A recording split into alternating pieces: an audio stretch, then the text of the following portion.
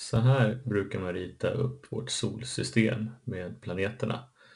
Och på den här bilden har de ritat ut planeterna i ungefär den, de storlekarna de har i förhållande till varandra. Däremot avståndet till solen och mellan planeterna är ungefär lika här mellan de här och så ser det inte ut på riktigt. Det är betydligt större skillnad mellan avstånden, speciellt mellan vissa och, eh, men man brukar rita ut det sådär just för att eh, det ska vara möjligt att rita, annars skulle det bli så väldigt utspritt och inte bli någon bra bild. Men vi ska titta på avståndet till några av de här planeterna.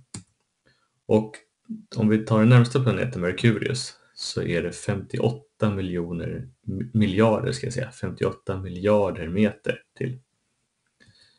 Tar vi till jorden så är det 150 miljarder meter.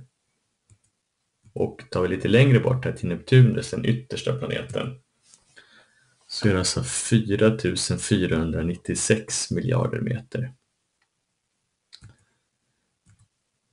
Eh, jag, vi vet att vi har pratat om det här för ett par år sedan, ni som gick i mellanstadiet med mig, att det finns en modell för, som man har gjort i Sverige där man utgår ifrån, eh, man utgår ifrån att solen motsvarar globen och så från Globen har man gjort olika statyer av planeterna och så är de placerade på rätt avstånd då, i förhållande till varandra jämfört med Globen som är solen. Och om vi tar de planeterna vi tittade på, vi tar Merkurius, den första planeten, så är den ungefär vid Slussen ligger den.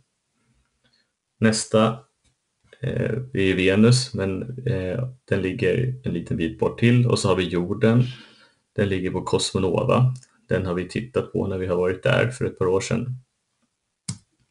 Och eh, om vi tar Neptunus så är den längst bort.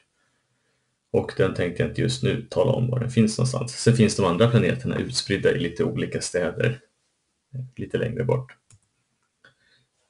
Och mellan Globen och Slussen där Merkurius-statyn finns är det 2,9 kilometer.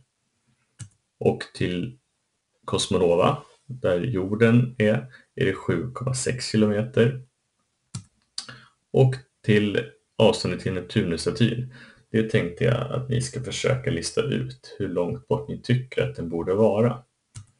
Och till hjälp så kan man nu se de här siffrorna jag sa, så har man dem att utgå ifrån när man försöker lista ut. Om man på något sätt kan lista ut ungefär hur långt från Globen som Neptunus borde vara. Och eh, jag vill också att ni försöker fundera ut i så fall vilken stad det skulle kunna vara. Och det är norrut de ligger alla. Så att någon stad norrut som är på ett lämpligt avstånd från Globen där Neptunus ligger. Jag vet ju att ni ganska enkelt skulle kunna googla fram det här svaret. Men jag skulle önska att ni försöker gissa först och när ni också fyller i svarsformuläret att ni fyller i det ni tror även om ni skulle kunna googla fram det. Sen kan ni göra det efteråt om ni vill se hur nära det var.